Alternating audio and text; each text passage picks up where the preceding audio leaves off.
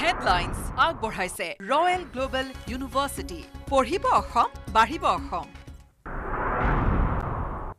দিল্লীৰ মুখ্যমন্ত্ৰীৰূপে আতিশীৰ শপত গ্ৰহণ। দিল্লীৰ ৰাজভৱনত শপত গ্ৰহণ অনুষ্ঠান। আতিশীৰ সৈতে মন্ত্ৰী হিচাপে শপত ল'লে পাঁচ বিধায়কে। দিল্লীৰ তৃতীয়গৰাকী মহিলা তথা অষ্টম মুখ্যমন্ত্ৰী আতিশী পলাতক মহাপ্ৰবঞ্চক দীপাংকৰ বৰ্মনৰ পিতৃ মাতৃক ন্যায় জিমালৈ প্ৰেৰণ সোধা পোছাৰ অন্তত দীপাংকৰৰ পিতৃ মাতৃক গ্ৰেপ্তাৰ কৰিছিল পাণবজাৰ আৰক্ষীয়ে। পিতৃৰ একাউণ্টত বৃহৎ পৰিমাণৰ ধনৰ লেনদেনৰ তথ্য লাভ আৰক্ষীৰ। দীপাংকৰৰ চি এ মহেশ আগৰৱালাকো গ্ৰেপ্তাৰ। এ ডি আৰ ইৰ পৰৱৰ্তী পৰীক্ষাত বিমান বন্দৰৰ আৰ্হিত হ'ব তালাচী। তালাচীৰ বাবে অনুমতি নিদিয়া মহিলা প্ৰাৰ্থীৰ বাবে আছুতীয়া কোঠাত হ'ব পৰীক্ষা। বিগত পৰীক্ষাত তালাচীৰ নামত হোৱা বিতৰ্কৰ পাছত মুখ্যমন্ত্ৰীয়ে প্ৰকাশ কৰিলে এই কথা। চৰম পথোৱা সোণাৰী পঞ্চায়ত সভাপতিক ব্লেকমেইলিং কৰা সাংবাদিকক গ্ৰেপ্তাৰ। মহিলা সাংবাদিকৰ লগতে ৰঙাঘৰ আলহী হ'ল। প্ৰাক্তন খণ্ড উন্নয়ন বিষয়া। আন এক পলাতক সাংবাদিকক বিচাৰি আৰক্ষীৰ অভিযান। এজনক চি এম ভিজিলেন্সৰ তলত শৰতৰ আৰম্ভণিটো ৰাজ্যত গ্ৰীষ্ম প্ৰৱাহ অভিলেখ সৃষ্টি কৰি ৰাজ্যৰ ভিন্ন প্ৰান্তত পাৰাস্তম্ভই অতিক্ৰম কৰিলে চল্লিছ ডিগ্ৰী চেলছিয়াছৰ ঘৰ। প্ৰচণ্ড গৰমত এতিয়ালৈ ৰাজ্যত তিনিজনৰ মৃত্যু বৰাকৰ বিভিন্ন স্থানত ধুমুহা বৰষুণ। সোণাপুৰৰ কচুতলী উচ্ছেদস্থলীত পুনৰ প্ৰতিবাদ। আৰক্ষী প্ৰশাসনৰ লোকক চলোৱা আক্ৰমণৰে জড়িত লোকক শিশুৰে গ্ৰেপ্তাৰ দাবীৰে প্ৰতিবাদ। প্ৰতিবাদৰ বাবে ওলাই আহিল বিভিন্ন দল সংগঠনৰ নেতাকৰ্মীৰ লগতে খিলঞ্জীয়া লোক ধিঙৰ কিশোৰী ধৰ্ষণত অভিযুক্ত ইছৰাফিল হুছেইন আৰু ফুজাইল আহমেদক গ্ৰেপ্তাৰ। এটা মাহতে ধিঙত সংঘটিত হৈছিল দ্বিতীয়টো ধৰ্ষণকাণ্ড গোলাঘাটৰ মৰমিটো বৃদ্ধৰ কামনাৰ বলি হ'ল নাবালিকা। জুৰিয়া আৰক্ষীৰ জালত মষ্ট ৱান্টেড চাইবাৰ অপৰাধী মুছা কাৰিমুল্লা। মুছা কাৰিমুল্লা এণ্ড গেঙে এইবাৰ অপৰাধেৰে কোটি কোটি টকা আত্মসাত কৰাৰ অভিযোগ। আৰক্ষীৰ চকুত ধূলি দি চাইবাৰ অপৰাধৰ বৃহৎ নেটৱৰ্ক গঢ়ি তুলিছিল মুছাই। আমেৰিকাৰ উইলমিংটনলৈ প্ৰধানমন্ত্ৰী নৰেন্দ্ৰ মোদী ভাগ ল'ব কোৱাড সন্মিলনত আমেৰিকাৰ ৰাষ্ট্ৰপতি জো বাইডেনৰ গৃহ চহৰ উইলমিংটনত অনুষ্ঠিত হৈছে কোৱাড সন্মিলন।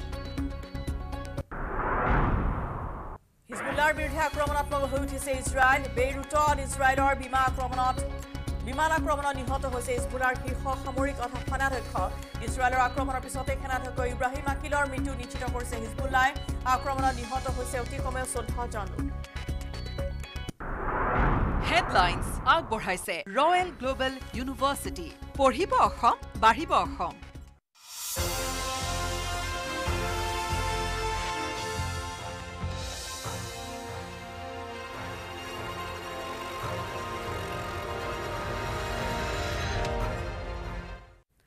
নমস্কাৰ স্বাগতম জনাইছোঁ প্ৰাইম টাইম এইটিন ষ্টুডিঅ'ত পৰস্মিতা গোস্বামী। নমস্কাৰ ষ্টুডিঅ'ত মই প্ৰাঞ্জল। আৰম্ভণিতে ব্ৰেকিং নিউজ। আছুৰ প্ৰাক্তন সাধাৰণ সম্পাদক শংকৰজ্যোতি বৰুৱাৰ জামিন নাকচ কৰা হৈছে। শীঘ্ৰে গ্ৰেপ্তাৰ হ'ব পাৰে শংকৰজ্যোতি বৰুৱা। অন্তৱৰ্তীকালীন জামিন প্ৰত্যাহাৰ কৰা হৈছে শংকৰজ্যোতিৰ। এগৰাকী যুৱতীৰ অভিযোগৰ পাছতেই গোটেই ৰাজ্যজুৰি প্ৰতিক্ৰিয়াৰ সৃষ্টি হৈছিল। ইতিমধ্যে আছুৰ পৰা অব্যাহতি লৈছে শংকৰজ্যোতি বৰুৱাই।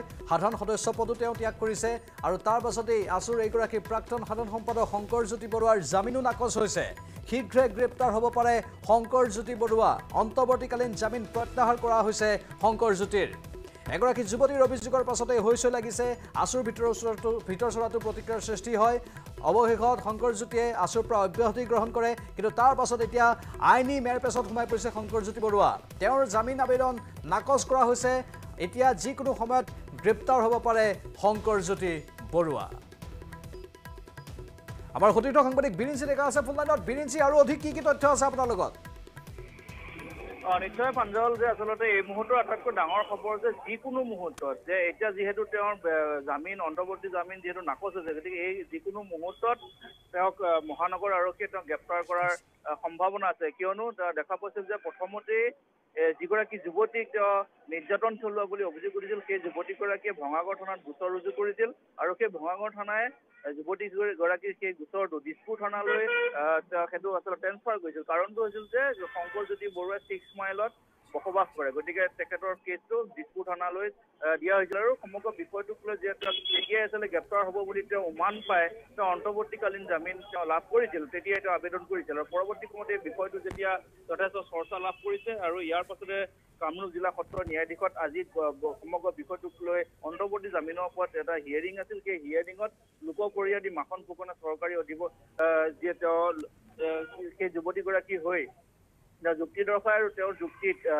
তাৰপিছত পৰৱৰ্তী সময়ত বিচাৰকে আচলতে ন্যায়াধীশে অন্তৰ্বৰ্তী জামিন নাকচ কৰিছে শংকৰ বৰা গতিকে এই মুহূৰ্তত জামিন নাকচ হোৱাৰ সেই সকলোখিনি যেতিয়া নথি পত্ৰ আৰক্ষীয়ে লাভ কৰিব ইয়াৰ পাছতে হয়তো আজি নিশাৰ ভাগতে হওক বা কাইলৈ পুৱাৰ ভাগতে হওক শংকৰ জ্যোতি বৰুৱাক গ্ৰেপ্তাৰ কৰিব মহানগৰ আৰক্ষীয়ে নিশ্চয় নিশ্চিত। বি ডি চি লাইনত থাকিব ডাঙৰ খবৰ। আমাৰ সতীৰ্থ সাংবাদিক প্ৰীতি বৰ্তমান নিউজ ৰুমৰ পৰা লাইভত আছে। প্ৰীতি যিহেতু এগৰাকী যুৱতীয়ে অভিযোগ আনিছিল সেই যুৱতীগৰাকীৰ অভিযোগৰ পাছতেই হৈছে লাগিল আচুত আৰু এতিয়া অৱশেষত শংকৰজ্যোতি বৰুৱা গ্ৰেপ্তাৰ হোৱাৰ পথত হয় নিশ্চিতভাৱে আমি গোটেই কাহিনীটো গম পাওঁ ক'ৰ পৰা আৰম্ভ হৈছিল এগৰাকী যুৱতীয়ে যিগৰাকী আচলতে আছুৰে এগৰাকী সদস্য আৰু খুব সক্ৰিয় সদস্য সেইগৰাকী যুৱতীয়ে এটা অভিযোগ উত্থাপন কৰিছিলে যে শংকৰজ্যোতি বৰুৱাই বিভিন্ন ধৰণে মানসিকভাৱে তেওঁক অত্যাচাৰ কৰিছে বুলি আৰু তাৰ পিছতে তেওঁ চৰম পন্থা ল'বলৈ বাধ্য হৈছিলে বুলি কৈছিলে তাক লৈ তেওঁ এজাহাৰ এখন ৰুজু কৰিছিলে আৰু তাৰ পিছতে সমগ্ৰ কথা আচলতে আৰম্ভ হ'ল গোটেই কাহিনী আৰম্ভ হ'ল গোটেই কাহিনী ক'ৰ পৰা আৰম্ভ হৈছে তাক লৈ তদন্ত আৰম্ভ কৰিছে এতিয়া আছুৰ ভিতৰ চৌৰাটো তেওঁলোকে এখন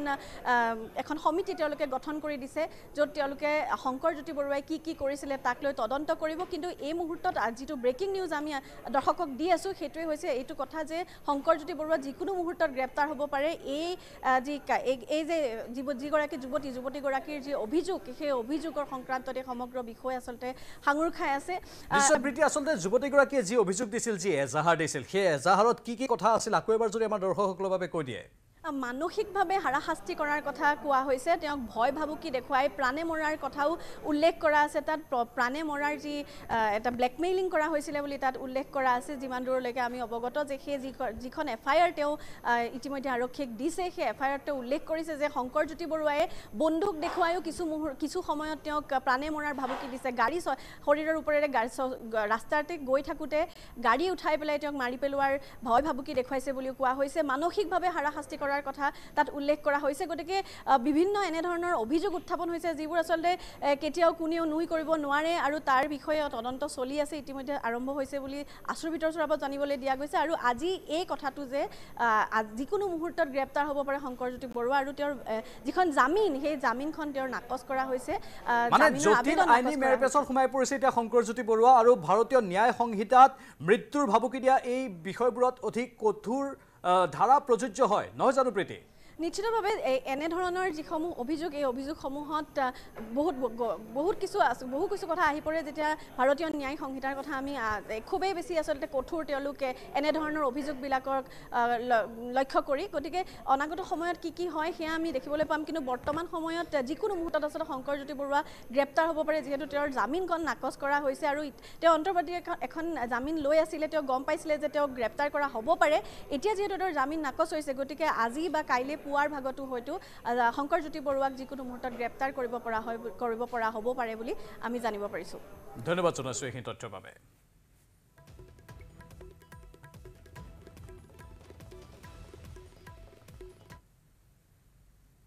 ইফালে আত্মহত্যাৰ পথ বাছি লোৱা পঞ্চায়ত সভাপতি দেৱজিৎ হাজৰিকাৰ মৃত্যুৰ ঘটনাত অভিযুক্ত হৈ পৰিছে একাধিক সাংবাদিক। দেৱজিৎ হাজৰিকাক ব্লেকমেইলিঙত সাংবাদিকক সহায় কৰাৰ অভিযোগত কাৰাগাৰ আলহী হ'ল এজন প্ৰাক্তন খণ্ড উন্নয়ন বিষয়া। এগৰাকী মহিলা সাংবাদিককো গ্ৰেপ্তাৰ কৰিছে আৰক্ষীয়ে। পঞ্চায়ত সভাপতিৰ মৃত্যুৰ আঁৰত সাংবাদিক। সোণাৰীৰ মহিলা সাংবাদিকক গ্ৰেপ্তাৰ। আন এক সাংবাদিক ৰফিক আহমেদ পলাতক। সোণাৰীৰ ৰজাপুখুৰীৰ পঞ্চায়ত সভাপতি দেৱজিৎ হাজৰিকাৰ আত্মহত্যাৰ টোকা উদ্ধাৰৰ পাছতেই চাঞ্চল্য অব্যাহত আছে। ব্লেকমেইলিং কৰা সাংবাদিকক সহায় কৰি ইতিমধ্যে ৰঙাঘৰৰ আলহী হ'ল প্ৰাক্তন খণ্ড উন্নয়ন বিষয়া ৰঞ্জিত বুঢ়াগোহাঁই দেৱজিৎ হাজৰিকাৰ মৃত্যুৰে নাম সাঙুৰ খোৱা আৰ টি আই কৰ্মী তথা এনি ভাৰতৰ স্বত্বাধিকাৰী দুলাল বৰাক তলব চি এম ভিজিলেন্সৰ। দেৱজিৎ হাজৰিকাৰ মৃত্যুৰ লগতে বিতৰ্কিত চিকিৎসক মৃদুপৱন নাথে এনি ভাৰতত বিনিয়োগ কৰা ধন সম্পৰ্কে সোধপোছ কৰিবলৈ সোমবাৰে চি এম ভিজিলেন্সত হাজিৰ হ'ব লাগিব দুলাল বৰা। একাংশ সাংবাদিকৰ ব্লেকমেইলিঙৰ বাবেই সোণাৰীৰ ৰজাপুখুৰীৰ পঞ্চায়ত সভাপতি দেৱজিৎ হাজৰিকাই আত্মহত্যা কৰাৰ অভিযোগত পত্নীয়ে দাখিল কৰিছে এজাহাৰ। এজাহাৰত স্পষ্টকৈ নাম উল্লেখ কৰিছে প্ৰাক্তন খণ্ড উন্নয়ন বিষয়া ৰঞ্জিত বুঢ়াগোহাঁই দুলাল বৰা ৰফিক আহমেদ আৰু সোণাৰীৰ এগৰাকী মহিলা সাংবাদিকৰ। মানুহজনক বহুত দিনৰ পৰা মানসিক টৰ্চাৰ কৰি আছিলে। Dulal Bora R T I কৰ্মী ৰফিক আহমেদ পৰিস্মিতা বৈশ্য ফুকন ৰঞ্জিত বুঢ়াগোহাঁই অৱসৰপ্ৰাপ্ত খণ্ড উন্নয়ন বিষয়া সোণাৰী। আনকি চৰম পথ লোৱাৰ পূৰ্বে ছুইচাইড নোটতো দেৱজিৎ হাজৰিকাই লিখি থৈ গৈছে প্ৰতিজন অভিযুক্তৰ নাম। সোণাৰীৰ ৰজাপুখুৰীৰ পঞ্চায়তৰ দুই লাখ ষোল্ল হাজাৰ টকীয়া এখন আঁচনিৰ বাবে প্ৰাক্তন খণ্ড উন্নয়ন বিষয়া ৰঞ্জিত বুঢ়াগোহাঁইৰ উচতনিত ব্লেকমেইলিং আৰম্ভ কৰিছিল এদল সাংবাদিকে। আঁচনিৰ ধনেৰে দোকানঘৰ নিৰ্মাণ কৰাৰ বিপৰীতে পঞ্চায়তৰ পৰ্টেলত মন্দিৰ নিৰ্মাণৰ বাবে ধন আবণ্টিত হোৱা বুলি উল্লেখ থকাৰ বাবেই পঞ্চায়ত সভাপতি দেৱজিৎ হাজৰিকাক হেঁচা দিছিল ব্লেকমেইলাৰৰ দলে। চৰাইদেউ জিলা আয়ুক্তৰ তদন্তৰ পাছতো কমা নাছিল অভিযুক্ত সাংবাদিকৰ অতপালি তাৰ এই পৰিণতিত চৰম পথ ল'বলৈ বাধ্য হ'ল পঞ্চায়ত সভাপতি দেৱজিৎ হাজৰিকা। তাৰ পাছতে প্ৰাক্তন খণ্ড উন্নয়ন বিষয়া ৰঞ্জিত বুঢ়াগোহাঁই আৰু সোণাৰীৰ মহিলা সাংবাদিকক গ্ৰেপ্তাৰ কৰি পলাতক ৰফিক আহমেদৰ সন্ধানত আৰক্ষীয়ে আৰম্ভ কৰিছে অভিযান। সোণাৰীৰ পৰা হানচেং কোঁৱৰৰ report news eighteen Assam north east.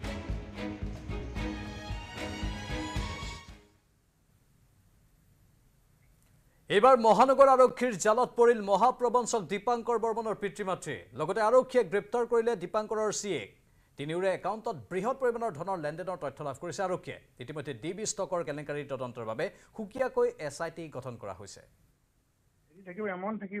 আছে দহ। আৰু সেইটো দহ লাখ না কোটি? লাখ কোটি আৰু ক'ত হ'ব আমাৰ? আৰু সেইটো চেক দি পঠাইছিল নে কেছ দিছিলা। আমি অনলাইন কৰিছিলোঁ। এমাহে পলাতক প্ৰবঞ্চক দীপাংকৰ বৰ্মন। মহানগৰ আৰক্ষীৰ জালত দীপাংকৰৰ পিতৃ মাতৃ সাৰি নগ'ল C A Mukesh Agarwala. D B ষ্টকৰ কেলেংকাৰীৰ তদন্তৰ বাবে সুকীয়া এছ আই টি গঠন। অৱশেষত মহানগৰ আৰক্ষীৰ জালত পৰিল পলাতক প্ৰবঞ্চক দীপাংকৰ বৰ্মনৰ পিতৃ ছবিন বৰ্মন মাতৃ দীপালী তালুকদাৰ আৰু চাৰ্টাৰ্ড একাউণ্টেণ্ট মুকেশ আগৰৱালা। তিনিওৰে একাউণ্টত দীপাংকৰ বৰ্মনে বৃহৎ পৰিমাণৰ ধনৰ লেনদেনৰ তথ্য লাভ কৰিছে আৰক্ষীয়ে। কিন্তু বিগত এটা মাহে আৰক্ষীৰ চকুত ধূলি দি পলাতক হৈ আছে ট্ৰেডিং কেলেংকাৰীৰ অন্যতম খলনায়ক দীপাংকৰ বৰ্মন। ডি বি ষ্টকত ধন বিনিয়োগ কৰিবলৈ পিতৃ ছবিন বৰ্মনেও নানা চলাহী কথা কৈছিল বিনিয়োগকাৰীক এনেধৰণৰ বহু তথ্যৰ ভিত্তিত মহানগৰ আৰক্ষীয়ে গ্ৰেপ্তাৰ কৰে পিতৃ মাতৃসহ চাৰ্টাৰ্ড একাউণ্টেণ্টক ইয়াৰ মাজতে পোহৰলৈ আহিছে এগৰাকী বিনিয়োগকাৰী আৰু দীপাংকৰৰ পিতৃ ছবিন বৰ্মনৰ ফোন ৰেকৰ্ডিং। যিটো কথোপকথনত পিতৃগৰাকীয়ে অতি সাধাৰণভাৱে বিনিয়োগকাৰীক সুধিছে দহ লাখ নে দহ কোটি ইনভেষ্ট কৰিছিল? পাংকাৰ দাৰ কিবা খবৰ আছে? খবৰটো পোৱা নাই তোমালোকে চোৱাটো বিচাৰা আমিও বিচাৰি আছো। আপোনালোকে থানাত কমপ্লেইন দিলে? কৈ আছো ক্লাইণ্টে হয় মই। মোৰ বহুত পইচা লাগি আছে খুৰা। মোৰ মানে কি কৰিম এতিয়া? মৰা অৱস্থা। শুনক না আংকল কিবা এটা কৰক না প্লিজ আপোনালোকৰ লগত কথা হয় নেকি দীপাংকৰ দাৰ? এতিয়ালৈকে কথা নাই। তোমালোকে বাকী ক্লাইণ্টৰ লগত লগ লাগি কথা পাতাচোন ক'ত ক'ত আছে তোমালোকেতো জানা। এতিয়া আমি অফিচত কেনেকে তোমালোকে যোৱা। কৰিম? এতিয়া আপোনালোককতো ধৰক মা পাপা হয় তো আপোনালোকৰ তাতেতো খবৰ থাকিব ন? হেৰি থাকিব এমাউণ্ট থাকিব। আছে দহ। আৰু সেইটো দহ লাখ না কোটি? লাখ কোটি আৰু ক'ত হ'ব আমাৰ? আৰু সেইটো চেক দি পঠাইছিল নে কেছ দিছিলা? আমি অনলাইন কৰিছিলোঁ। অ অনলাইন ৰেকৰ্ডটো ৰাখি পেলাই পল্টন বজাৰত ৰেকৰ্ডটো দি দিয়া। ৰাখিলো তো চব কৰিলো আংকেল কিন্তু তো আমাকতো কোনো হেল্প নকৰে না। আৰু আপোনাৰ দেউতাৰ নাম কি? মোৰ দেউতাৰ নাম অ। সুৰজ ডেকা। সুৰজ ডেকা। আপুনি বিবাহিতা নে বেচেলাৰ মই বেচলাৰ হ'ব দিয়ক পিছত খবৰ দি কৈ জনাব ঠিক আছে হ'ব। বিগত এমাহে পলাতক হৈ আছে শ শ বিনিয়োগকাৰীৰ পৰা কেইবা হাজাৰ কোটি টকা লুণ্ঠন চলোৱা দীপাংকৰ বৰ্মন। পল্টন বজাৰ থানাত ৰুজু হোৱা গোচৰৰ তদন্ত কৰিবলৈ আৰক্ষী আয়ুক্তই সাতজনীয়া এক তদন্তকাৰী দল গঠন কৰিছে। এই দলটোৱে পলাতক দীপাংকৰৰ সন্ধান কৰাৰ লগতে দীপাংকৰৰ বিৰুদ্ধে দাখিল হোৱা গোচৰৰ তদন্ত কৰিব।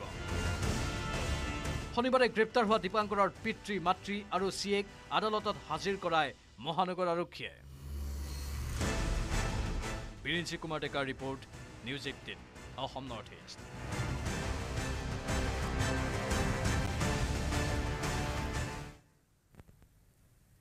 খিলঞ্জীয়াৰ প্ৰতিবাদত পুনৰ কঁপি উঠিল সোণাপুৰৰ কচুতলি। হাতে হাতে বৰ ঢোল বৰ তাল লৈ বেদখলকাৰীক উচ্ছেদ কৰাৰ বাবে প্ৰতিবাদ সাব্যস্ত কৰিলে খিলঞ্জীয়াই। কচুতলিত উচ্ছেদৰ সময়ত আৰক্ষী প্ৰশাসনৰ ওপৰত আক্ৰমণ চলোৱা দুষ্কৃতিকাৰীৰ বিৰুদ্ধেও কঠোৰতম ব্যৱস্থা গ্ৰহণৰ দাবী জনালে প্ৰতিবাদী জনতাই।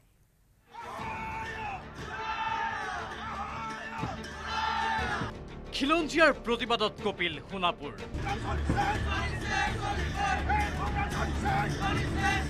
বেদখলকাৰীৰ বিৰুদ্ধে হাতে হাতে বৰ ঢোল বৰতাল লৈ প্ৰতিবাদ খিলঞ্জীয়া। প্ৰতিবাদ আৰু দেখিব পোৱা গৈছে আজিৰ দিন এক অভিনৱ কাৰ্যসূচী গ্ৰহণ কৰিছে। এয়া সন্মুখত বৰঢোল সন্মুখত দেখিব পোৱা গৈছে তাল আৰু তাৰ পিছে পিছে দেখিবলৈ পোৱা গৈছে এইসকল সম্প্ৰতি সোণাপুৰৰ কচুতলিত সাময়িকভাৱে বন্ধ হৈছে প্ৰশাসনৰ উচ্ছেদ অভিযান। আগন্তুক ত্ৰিছ ছেপ্টেম্বৰলৈ কচুতলিত প্ৰশাসনৰ উচ্ছেদত নিষেধাজ্ঞা জাৰি কৰিছে গুৱাহাটী উচ্চ ন্যায়ালয়ে। ইফালে স্বাধীনতাৰ পূৰ্বে ম্যাদী পট্টাৰ মাটি ক্ৰয় কৰা লোকৰ উচ্ছেদত আদালতে শিথিলতা প্ৰদান কৰাৰ পিছতে চিন্তিত হৈছে স্থানীয় লোক। ভুৱা নথিৰে কচুতলিত মাটি কিনা একাংশ বেদখলকাৰী হাৰি যাব নেকি তাক লৈ চিন্তিত হৈ পৰিছে সোণাপুৰৰ জনজাতীয় লোকসকল। যাৰ বাবে শনিবাৰে বেদখলকাৰীৰ বিৰুদ্ধে হাতে হাতে বৰতাল বৰঢোল লৈ প্ৰতিবাদ সাব্যস্ত কৰে সোণাপুৰৰ খিলঞ্জীয়া লোকসকলে। বহিৰাগতৰ বিৰুদ্ধে আমাৰ ৰণদুংগাৰ কচুতলি অঞ্চলে নহয় ডিমুৰীয়া অঞ্চলৰ যিমানবিলাক বেদখল আছে সেই বেদখল সকলো মুক্ত কৰিব লাগিব। ৰণসংকাৰ দিছো এভেকশ্যন যাতে উচ্ছেদ যাতে বন্ধ নহয় কোনোমতে। তাৰ কাৰণে আমি চৰকাৰৰ ওচৰত দাবী জনাইছো। প্ৰতিবাদকাৰীৰ দাবী চৰকাৰী সংৰক্ষিত জনজাতীয় এলেকাত থাকিব নোৱাৰিব আন শ্ৰেণীৰ লোক। মৰিয়াবাসীৰ স্বতঃস্ফূৰ্তৰ এক ৰণসংকাৰ হাইকোৰ্টৰ আমি যি ৰায়দান আমি সন্মান কৰিছোঁ কিন্তু আমি প্ৰশাসন বা চৰকাৰক আহ্বান জনাওঁ যাতে ত্ৰিছ তাৰিখৰ পিছত পুনৰ যাতে এই এই অবৈধ বেদখলকাৰীসকলক ইয়াৰ পৰা উচ্ছেদ কৰে তাৰ দাবী জনাইছোঁ। জনজাতীয় লোকৰ ভূমি দখল কৰা প্ৰতিজন লোকক উচ্ছেদৰ দাবী জনাই প্ৰতিবাদী খিলঞ্জীয়া ৰাইজে। ইয়াৰ পৰা অবৈধ নাগৰিক যিসকল সন্দেহকৰ নাগৰিক যিসকলে বেল্টৰ মুনাফাত নহয় তেওঁলোকক ইয়াৰ পৰা যাবই লাগিব। সকলোৰে এটাই দাবী উচ্ছেদ হ'ব লাগে জনজাতীয় আবেষ্টনীৰ ভূমি সংৰক্ষিত হ'ব লাগে।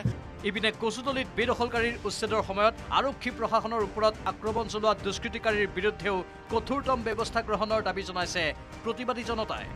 খিলঞ্জীয়া আৰক্ষীসকলৰ ওপৰত এই বহিৰাগতসকলে অতি বৰ্বৰভাৱে আক্ৰমণ চলাইছিলে। তাৰ প্ৰতিবাদ জনাইছোঁ আমাৰ প্ৰশাসনৰ লোকৰ ওপৰত আক্ৰমণ চলাইছিলে। এই উচ্ছেদ অভিযান বন্ধ কৰিবলৈ প্ৰচেষ্টা কৰিছিল। তাৰ প্ৰতিবাদ আজি খিলঞ্জীয়া ৰাইজ ৰাজপথলৈ ওলাই আছে তেখেতসকলে আমাৰ পুলিচ প্ৰশাসনৰ ওপৰত বৰ্বৰভাৱে আক্ৰমণ কৰিলে আৰু তাৰ প্ৰতিবাদত আজি এই প্ৰতিবাদী কাৰ্যসূচী।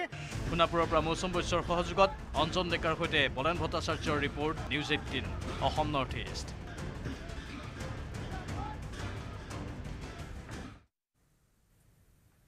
এইবাৰ বিমানবন্দৰৰ আৰ্হিত তালাচী চলোৱা হ'ব নিযুক্তি পৰীক্ষাৰ পৰীক্ষাৰ্থীসকলক। কোনোৱে অসৎ উপায় অৱলম্বন কৰিব নোৱাৰে যাতে তাৰ বাবে নিযুক্তি পৰীক্ষাত তন্ন তন্নকৈ তালাচী হ'বই বুলি পুনৰ স্পষ্ট মন্তব্য মুখ্যমন্ত্ৰীৰ। নিযুক্তি পৰীক্ষাত তালাচী হ'বই। পুৰুষ মহিলা সকলো প্ৰাৰ্থীৰে হ'ব পানী নসৰকা তালাচী। নিজৰ স্থিতিত অটল মুখ্যমন্ত্ৰী। এইবাৰ বিমানবন্দৰৰ আৰ্হিত হ'ব নিযুক্তি পৰীক্ষাৰ তালাচী। ৰাজ্যৰ তৃতীয় আৰু চতুৰ্থ বৰ্গৰ নিযুক্তিৰ বাবে শেহতীয়াকৈ অনুষ্ঠিত হোৱা অসম প্ৰত্যক্ষ নিযুক্তি পৰীক্ষাত তালাচীৰ নামত চূড়ান্ত হাৰাশাস্তি কৰাৰ অভিযোগ তুলিছিল একাংশ পৰীক্ষাৰ্থীয়ে। সামাজিক মাধ্যমত একাংশ মহিলা প্ৰাৰ্থীয়ে তালাচীৰ নামত অন্তৰ্বাসৰ ভিতৰত হাত ভৰাই হাৰাশাস্তি কৰাৰ গুৰুতৰ অভিযোগ উত্থাপন কৰিছিল। তাৰ পিছতেই ৰাজ্যজুৰি হোৱা তুমুল বিতৰ্কৰ পিছত তালাচী কাণ্ডৰ তদন্তও ঘোষণা কৰিছিল চৰকাৰে। কিন্তু সেই বিতৰ্ক অব্যাহত থকাৰ মাজতে শনিবাৰে মুখ্যমন্ত্ৰীৰ স্পষ্ট ঘোষণা নিযুক্তি পৰীক্ষাত তালাচী হ'বই। ঊনত্ৰিছ ছেপ্টেম্বৰত অনুষ্ঠিত হ'বলগীয়া স্নাতক পৰ্যায়ৰ প্ৰত্যক্ষ নিযুক্তি পৰীক্ষাটো হ'ব পূৰ্বৰ দৰেই তালাচী। কাৰণ পৰীক্ষাৰ স্বচ্ছতা ৰক্ষাৰ স্বাৰ্থত কোনো সুযোগ এৰিব নিবিচাৰে চৰকাৰে। অৱশ্যে তালাচীৰ বাবে এইবাৰ চৰকাৰে গ্ৰহণ কৰিব নতুন পদ্ধতি। বিমান বন্দৰৰ আৰ্হিত হ'ব নিযুক্তি পৰীক্ষাৰ তালাচী। মহিলাসকলৰ পৰা তালাচীৰ পূৰ্বে ল'ব লাগিব অনুমতি। তালাচীৰ অনুমতি নিদিয়া মহিলাই আছুতীয়া কক্ষত দিব লাগিব পৰীক্ষা। তেনে আছুতীয়া কক্ষত থাকিব অধিক নিৰীক্ষক। মহিলাৰ চেকিঙো হ'ব। মহিলাৰ চেকিং নহ'লে মহিলাই যদি কাগজ লৈ আহে কেনেকৈ হ'ব? গতিকে এয়াৰপৰ্টত যেনেকৈ চেকিং কৰে সুধি লয় পাৰ্মিশ্যন লয় লৈ পেলাই চেক কৰিব। চেক নকৰিলে পৰীক্ষা কেনেকৈ হ'ব? ছোৱালীজনীক সুধি ল'ম যে আপোনাক আমি চেক কৰিম আপোনাৰ আপত্তি আছে নেকি? বোলে মোৰ আপত্তি আছে। আপত্তি যদি আছে তেতিয়াহ'লে তেওঁক আমি বেলেগ ৰুমত বহি পৰীক্ষা দিব দিম আৰু তাত আমি ইনভেজিলেটৰ বেছি ল'ম। ইফালে পূৰ্বে একাধিক পদত একেজন প্ৰাৰ্থী নিৰ্বাচিত হোৱাৰ বাবে সৃষ্টি হৈছিল ব্যাপক বেমেজালি। সেইবাবে এইবাৰ একাধিক পদত নিযুক্তি নাপাব এগৰাকী প্ৰাৰ্থীয়ে। তাৰ বাবে চৰকাৰে গ্ৰহণ কৰিছে বিশেষ পদক্ষেপ। এতিয়া একাধিক পদত নাপায় কাৰণ এটা নিয়ম কৰা আছে যে যোনে চতুৰ্থ শ্ৰেণীত পায় তৃতীয় শ্ৰেণীত পায় তেওঁ চতুৰ্থ শ্ৰেণীত নাপাব। যোনে ওপৰৰ স্কেলটোত পায় তেওঁ তলৰ পজিশ্যনটোত নাপাব। গতিকে এইবাৰ যাতে তেনেকুৱা ধৰণৰ ডাবুল কেণ্ডিডেট নহয় তাৰ বাবে এইবাৰ বহুতখিনি ব্যৱস্থা গ্ৰহণ কৰা হৈছে। সদ্য সমাপ্ত প্ৰথম পৰ্যায়ৰ অসম প্ৰত্যক্ষ নিযুক্তি পৰীক্ষাৰ সময়ত ইণ্টাৰনেট কৰ্তনক লৈ হৈছিল তীব্ৰ বিতৰ্ক। বিশেষকৈ ইণ্টাৰনেট কৰ্তন কৰাটো চৰকাৰ প্ৰশাসনৰ চৰম ব্যৰ্থতা বুলি সমালোচনাত সৰব হৈছিল বিৰোধী দল কংগ্ৰেছ। শনিবাৰে সমালোচনাৰ বাবে কংগ্ৰেছক প্ৰত্যুত্তৰ মুখ্যমন্ত্ৰী ডক্টৰ শৰ্মাৰ। মুখ্যমন্ত্ৰীৰ মন্তব্য নিকা নিযুক্তি পৰীক্ষা অনুষ্ঠিত কৰাৰ বাবে দেশক পথ দেখুৱাইছে অসমে। অসমৰ মডেল অনুকৰণ কৰিয়েই শেহতীয়াকৈ কংগ্ৰেছ শাসিত ঝাৰখণ্ড চৰকাৰেও নিযুক্তি পৰীক্ষাৰ সময়ত কৰ্তন কৰিছে ইণ্টাৰনেট। ইমান দিনে কংগ্ৰেছে সমালোচনা কৰিছিল ইণ্টাৰনেট বন্ধ কিয় কৰিছে? আজি ঝাৰখণ্ডত কংগ্ৰেছ চৰকাৰে পৰীক্ষা পাতিছে আজি তেওঁলোকে অসমৰ পৰা শিকি ইণ্টাৰনেটটো বন্ধ কৰি দিছে। তাৰমানে অসমে আজি দেশক ৰাস্তা দেখুৱাই আছে। মুখ্যমন্ত্ৰীৰ স্পষ্ট ঘোষণা। তৃতীয় চতুৰ্থ বৰ্গৰ পিছতে অসম আৰক্ষীৰ নিযুক্তি পৰীক্ষাও অনুষ্ঠিত হ'ব।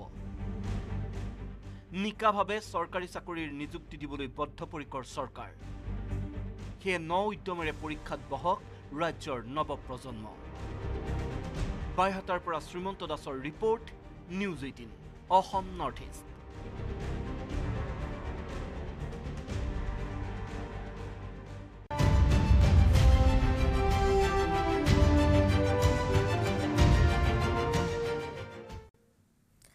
আৰু দিল্লীৰ মুখ্যমন্ত্ৰীৰূপে শপত গ্ৰহণ কৰিলে আতিচিয়ে। দিল্লীৰ ৰাজভৱন ৰাজনিবাসত আড়ম্বৰপূৰ্ণ শপত গ্ৰহণ অনুষ্ঠান।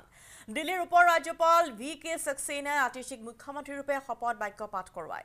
আতিচিৰ লগতে আন পাঁচগৰাকী বিধায়কে মন্ত্ৰী হিচাপে শপত ল'লে। গোপাল ৰাজ কৈলাশ গেহলট সৌৰভ ভৰদ্বাজ ইমৰান হুছেইন আৰু মুকেশ আহলাৱতে মুখ্যমন্ত্ৰী আতিচিৰ সৈতে মন্ত্ৰী হিচাপে শপত গ্ৰহণ কৰে। মুকেশ আহলাৱতে প্ৰথমবাৰৰ বাবে মন্ত্ৰী হিচাপে শপত গ্ৰহণ কৰিছে। দিল্লীৰ আটাইতকৈ কম বয়সীয়া মুখ্যমন্ত্ৰীৰূপে শপত গ্ৰহণ কৰিলে আতিচিয়ে। সুষমা স্বৰাজ শীলা দীক্ষিতৰ পিছত আতিচি দিল্লীৰ তৃতীয়গৰাকী মহিলা মুখ্যমন্ত্ৰী তথা দিল্লীৰ অষ্টমগৰাকী মুখ্যমন্ত্ৰী হ'ল আতিচি। কেজৰিৱাল মন্ত্ৰীসভাত আতিচিয়ে বিত্ত ৰাজহ লোক নিৰ্মাণ শক্তি শিক্ষাকে ধৰি তেৰটা দপ্তৰ চলোৱাৰ আছে অভিজ্ঞতা। কেন্দ্ৰীয় শাসিত অঞ্চল দিল্লীৰ মুখ্যমন্ত্ৰী অৰবিন্দ কেজৰিৱালৰ পদত্যাগ তথা আতিচিক মুখ্যমন্ত্ৰী হিচাপে আৰু পাঁচগৰাকী বিধায়কক মন্ত্ৰী হিচাপে শপত গ্ৰহণত ইতিমধ্যেই ৰাষ্ট্ৰপতিয়ে জনাইছে অনুমোদন। আতিচিয়ে মুখ্যমন্ত্ৰী হিচাপে শপত গ্ৰহণ কৰাৰ পিছতেই ছাব্বিছ সাতাইছ ছেপ্টেম্বৰত দিল্লী বিধানসভাৰ বিশেষ অধিৱেশন অনুষ্ঠিত হ'ব। নিয়ম অনুসৰিয়ে এই অধিৱেশনত আতিচি চৰকাৰে সদনত সংখ্যাগৰিষ্ঠতা প্ৰমাণ কৰিব লাগিব।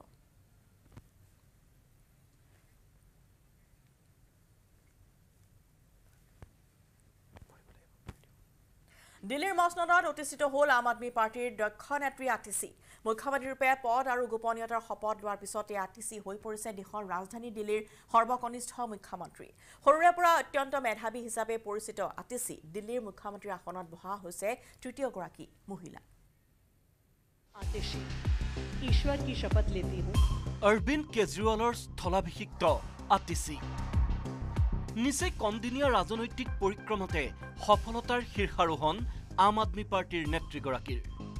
দিল্লীৰ সৰ্বকনিষ্ঠ মুখ্যমন্ত্ৰীৰূপে আতিচিয়ে ল'লে শপত। ৰাজনৈতিক জীৱনত এক প্ৰকাৰ চমক সৃষ্টি কৰা আতিচিৰ ব্যক্তিগত জীৱনো অতি চকুত লগা। দিল্লীৰ মুখ্যমন্ত্ৰীৰ আসনত অধিষ্ঠিত হোৱা আতিচিৰ জন্ম হৈছিল ঊনৈছশ একাশী চনৰ আঠ জুনত দিল্লীতেই।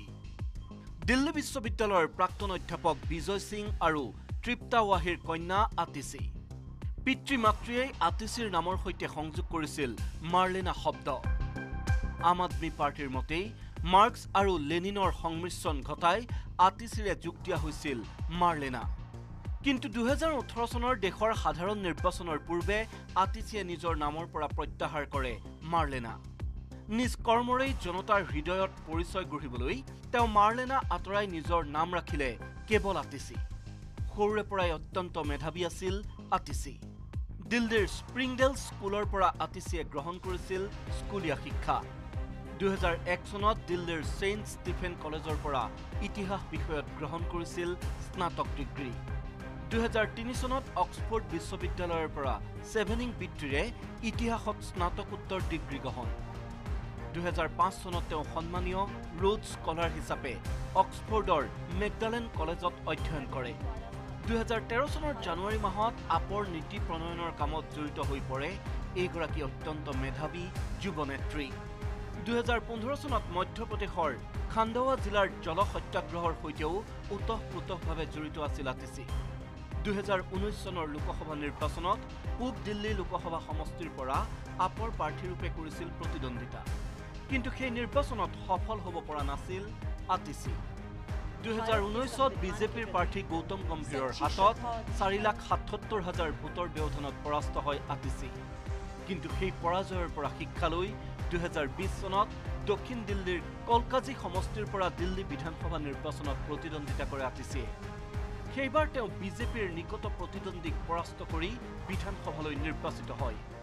দুহেজাৰ বিছ চনৰ নিৰ্বাচনৰ পিছত আপৰ গোৱা ইউনিটৰ দায়িত্ব গ্ৰহণ কৰে আতিচিয়ে দিল্লীৰ তদানীন্তন উপ মুখ্যমন্ত্ৰী মনীষ চিচোদিয়া আৰু মন্ত্ৰী সত্যেন্দ্ৰ জৈনৰ পদত্যাগৰ পিছত কেজৰিৱাল চৰকাৰত কেবিনেট মন্ত্ৰীৰ দায়িত্ব লাভ কৰে আতিচিয়ে কেজৰিৱাল কেবিনেটৰ বাৰটাকৈ গুৰুত্বপূৰ্ণ দপ্তৰৰ কাৰ্যভাৰ সফলতাৰে সম্পাদন কৰি আতিচিয়ে পৰিচয় দিয়ে নিজৰ কৰ্মদক্ষতাৰ। শেহতীয়াকৈ দিল্লীৰ সুৰা কেলেংকাৰীৰ গোচৰত প্ৰাক্তন মুখ্যমন্ত্ৰী অৰবিন্দ কেজৰিৱাল জেলত থকাৰ সময়তো কেন্দ্ৰীয় চৰকাৰ তথা বিজেপি দলৰ বিৰুদ্ধে সৰ্বাধিক খৰব হৈছিল আপ নেত্ৰীগৰাকী। আৰু তাৰেই যেন প্ৰতিদান লাভ কৰে আপিচিয়ে জেলৰ পৰা উভতিয়েই অৰবিন্দ কেজৰিৱালে মুখ্যমন্ত্ৰীৰ পদৰ পৰা পদত্যাগৰ সিদ্ধান্ত লোৱাৰ পিছত দুহেজাৰ চৌবিছ চনৰ সোতৰ ছেপ্টেম্বৰত আপ বিধায়িনী দলৰ বৈঠকত নেতা নিৰ্বাচিত হয় আতিচিয়ে তাৰ পিছত শনিবাৰে মুখ্যমন্ত্ৰীৰূপে পদ আৰু গোপনীয়তাৰ শপত লোৱাৰ পিছতে আতিচি হৈ পৰে দেশৰ ৰাজধানী দিল্লীৰ সৰ্বকনিষ্ঠ মুখ্যমন্ত্ৰী। সমান্তৰালকৈ দিল্লীৰ মুখ্যমন্ত্ৰীৰ আসনত বহা তৃতীয়গৰাকী মহিলা হৈ পৰে আপ নেত্ৰী Atishi bureau report news eighteen Assam north east.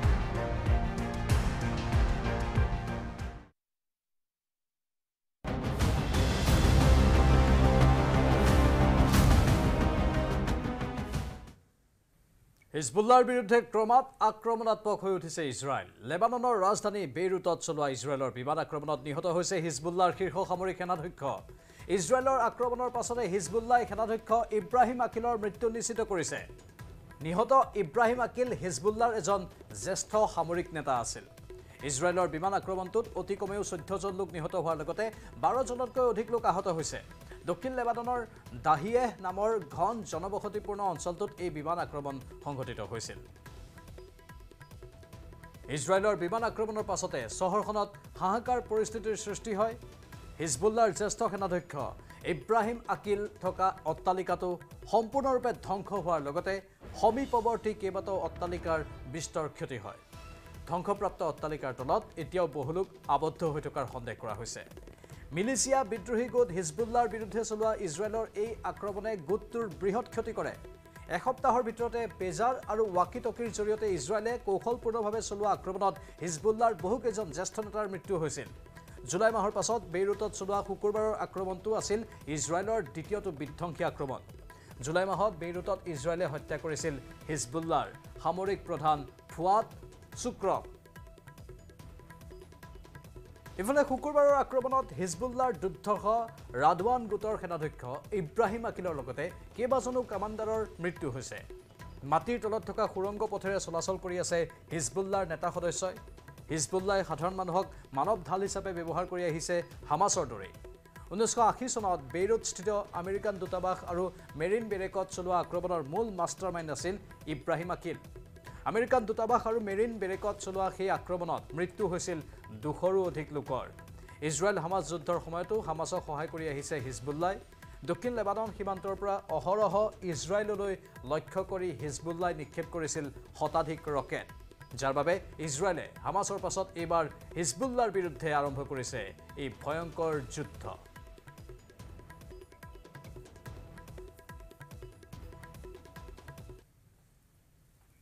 খবৰৰ আছে প্ৰাইম এইটিনৰ সময় হৈছে এটি বিৰতিৰ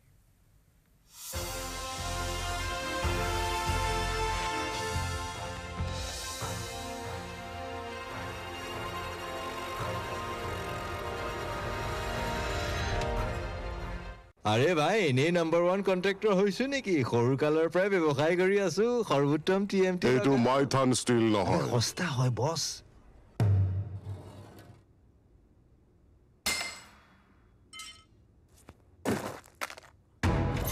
ষ্ট্ৰং মানে? মাইথান ষ্টীল ঠিক।